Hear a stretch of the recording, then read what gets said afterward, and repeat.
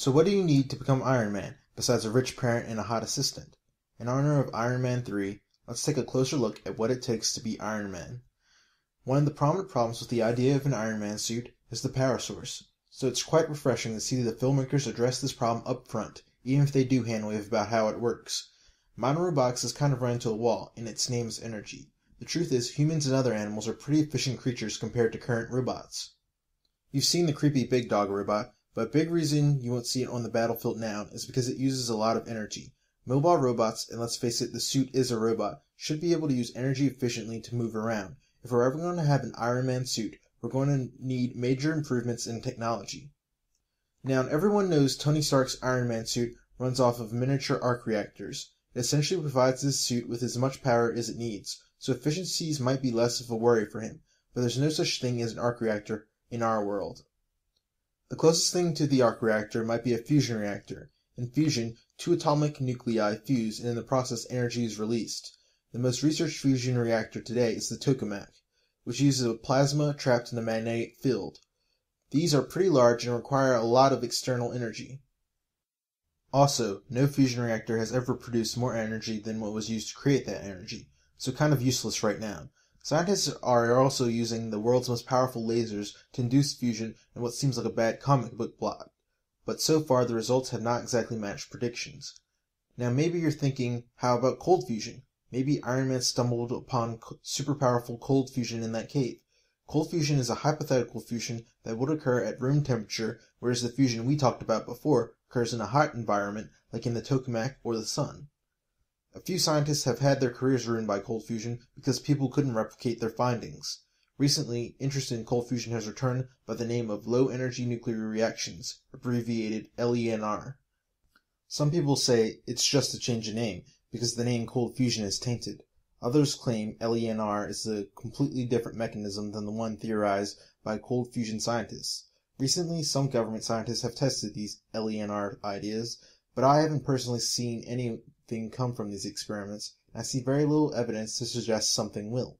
The government once invested research into psychics and paranormal spies, so take everything with a grain of salt. And always remember, extraordinary claims require extraordinary evidence. Some people have brought up the idea of possibly using a nuclear battery. For its recent Martian rover, Curiosity, NASA chose to use a nuclear battery as its power source. A nuclear battery takes advantage of the radioactive decay of material, in this case plutonium-238. It's small, lightweight, and long-lasting. This battery will continuously produce 110 watts of electrical energy for years. But that's not enough for an Iron Man suit. I'm not aware of an idea for a nuclear battery that would fit Iron Man's needs. There are some other problems with the arc reactor idea. Like, isn't this thing going to produce a lot of heat? Nothing's perfectly efficient. Energy is lost through heat. It's why your car engine gets hot. You probably don't want something that powerful with even a tiny bit of inefficiency on your chest. So, let's assume you have this extremely powerful, compact energy source with no problems. You should be able to fly like Iron Man with his rocket boots and everything, right? Well, it's not that simple. Let's start with how a rocket works in some basic terms. It all goes back to Newton's laws. For every action, there is an equal and opposite reaction. You send stuff flying out the back, you'll get a force sending you flying forward in the opposite direction. Because of the conservation of momentum, the speed and mass of the exhaust coming out of the rocket decides how much the momentum of the rocket will increase. Now, if we want to know what kind of rocket Iron Man might use, we need to look at a couple of things. First, the thrust. How much force does Iron Man need to hover to accelerate? Unfortunately for Iron Man, aerodynamics don't work in his favor. When flying, Iron Man's body produces little to no lift force. Being slender like a bullet is only favorable when traveling at high speeds. A quick internet search gives me various numbers for the suit's weight, but they're all about 200 pounds, so let's go with that. Let's say Tony is about 180 pounds, meaning the suit needs to be able to produce 380 pounds of force to at a minimum hover. Second, the specific impulse. It's the measure of the efficiency of a rocket. Some people like to think of it as being like miles per gallon for rockets. But to be specific, it's the ratio of the amount of thrust you get from the rocket to the weight flow of the propellant. You want as high a specific impulse as possible, but you usually have to trade this off for things like high thrust. Now, why is specific impulse so important for Iron Man? Simple. If he runs out of propellant, his rockets won't work. You might say, but what about the arc reactor? Doesn't that provide all the energy he needs? Remember how a rocket works. You need to send something flying out to induce an opposite reaction and create a thrust. Well, it doesn't matter how much energy you have if you don't have anything going out of your rocket.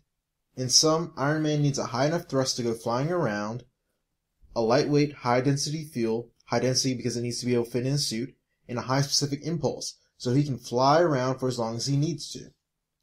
Also, it shouldn't be toxic. Some otherwise good rocket fuels are toxic, and I don't think the people Iron Man is saving would appreciate the toxic exhaust. But hey, that's just me. Chemical rockets tend to be inefficient. At best, they can have a specific impulse of about 500 seconds. So let's do a little calculation to see how long Iron Man can hover. To hover, Iron Man needs to create enough force to equal his weight, which we guessed was about 380 pound force. Let's assume Iron Man is using only one rocket to hover, to simplify things.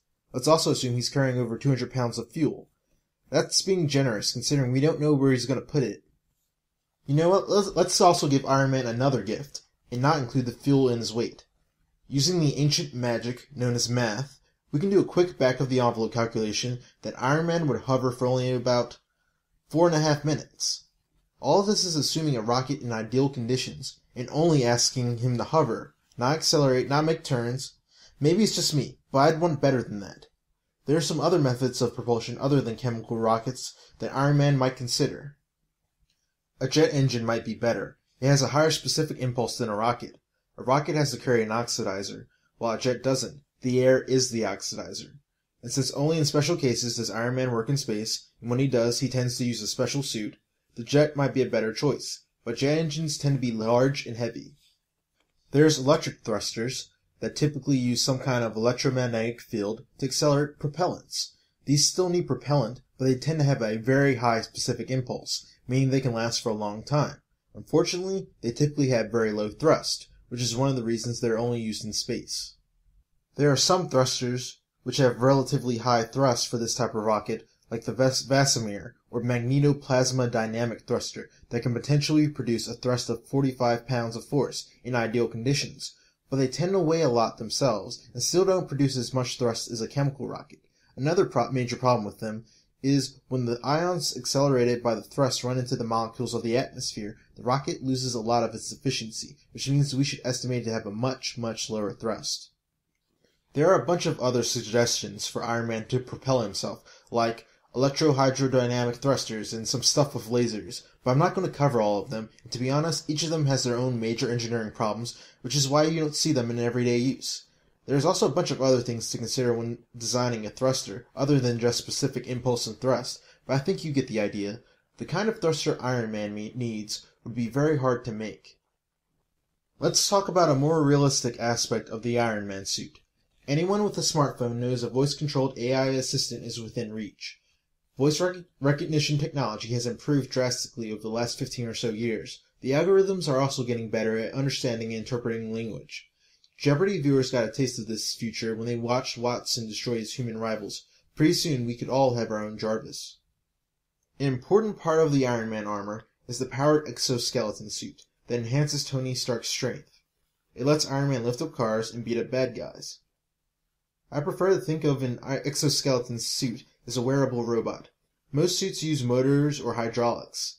The military has supported research into ex- exoskeletons mostly through defense contractors like Lockheed Martin. A Japanese robotics company, Cyberdyne, believe it or not, it's actually not a reference to Terminator, has built exoskeleton suits to help the elderly move or to assist nurses in carrying the sick. The biggest problem with these suits is the lack of a compact power source. Of course, as we discussed, Tony Stark solved that problem, but we haven't yet. Something else we should discuss is the actual armor part of Iron Man.